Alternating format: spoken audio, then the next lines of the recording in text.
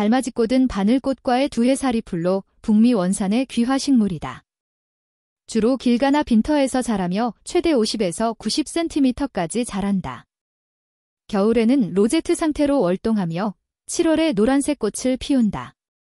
밤에만 꽃을 피우고 낮에는 꽃이 오므라들어서 달맞이꽃이라 부른다. 아메리카 원주민들은 달맞이꽃을 피부염이나 종기를 치료하는 약재로 썼으며 한방에서는 뿌리를 월견초라 하여 약용한다.